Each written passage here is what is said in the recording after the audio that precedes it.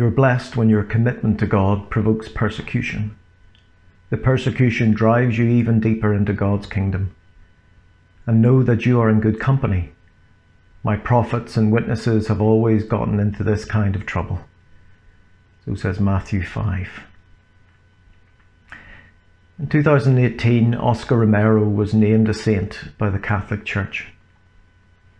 As the Archbishop of San Salvador for the last four years of his life, Romero was a strong public voice for the many voiceless and anonymous poor of El Salvador and Latin America. And when he preached in the cathedral on Sunday mornings, I'm told that the streets were empty and that all the radios were on full volume to hear truth and sanity in an insane and corrupt world. Here's a man who suffered with and for those who suffered. His loving heart shines through clearly in his homilies.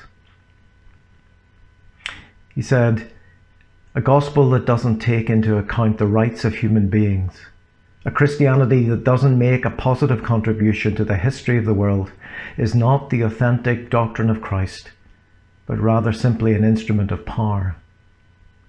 We don't want to be a plaything of the worldly powers Rather, we want to be a church that carries the authentic, courageous gospel of our Lord Jesus Christ, even when it might become necessary to die like he did on a cross.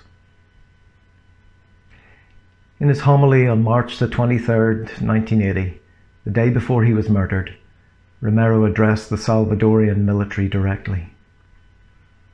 He said to them, Brothers, we are part of the same people.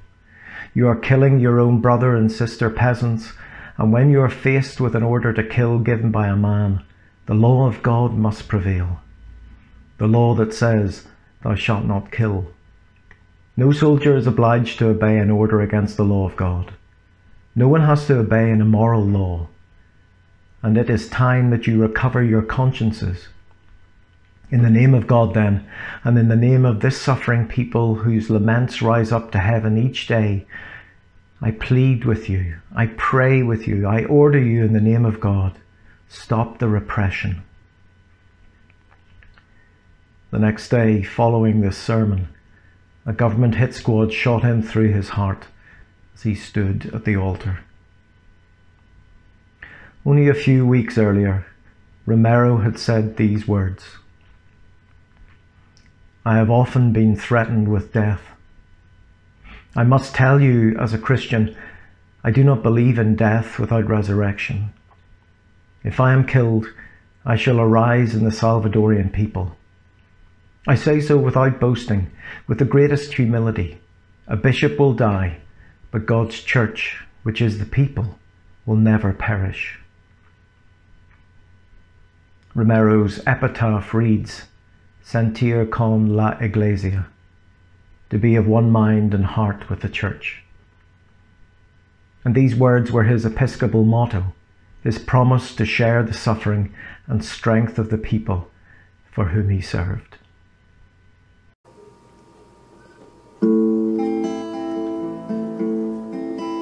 The Lord hears the cry of the poor.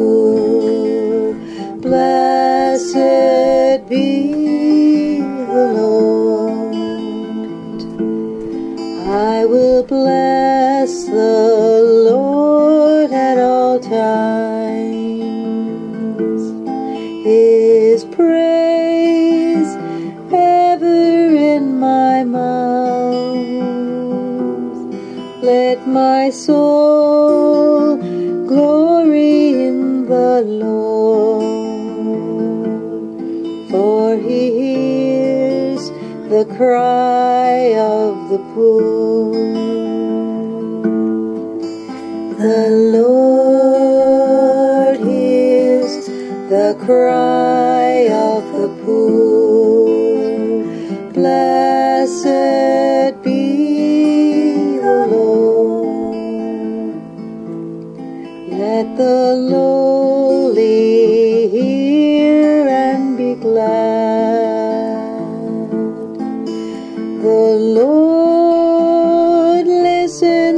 their pleas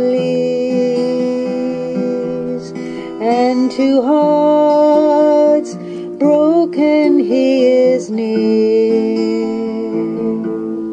for he hears the cry of the poor.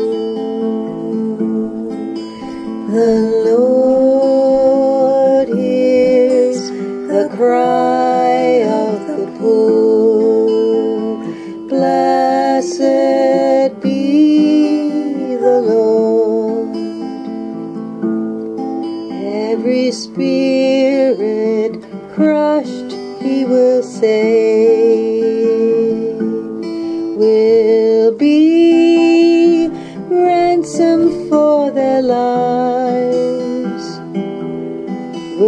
be safe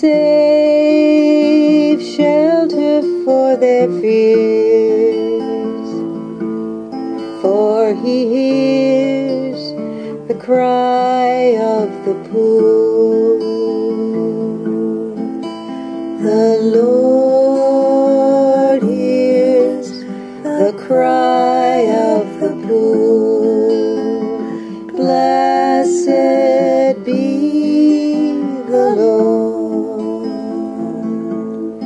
We proclaim the greatness of God.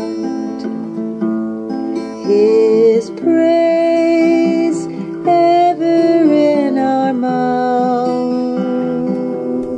Every face brightened in His light. For He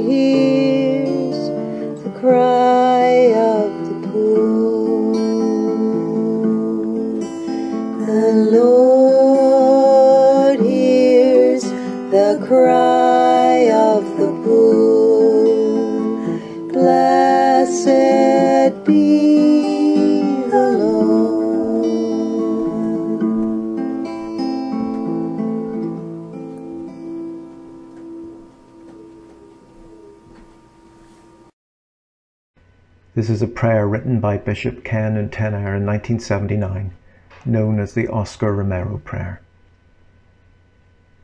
It helps now and then to step back and take a long view.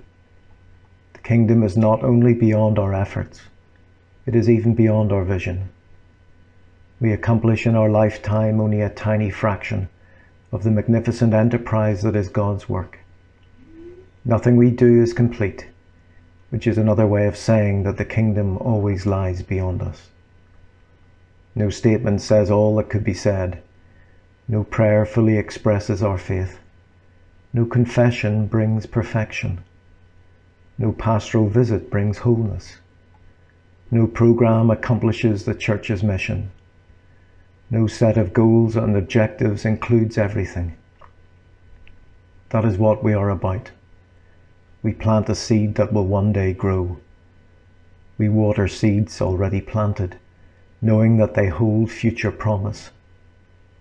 We lay foundations that will need further development. We provide yeast that produces effects far beyond our capabilities.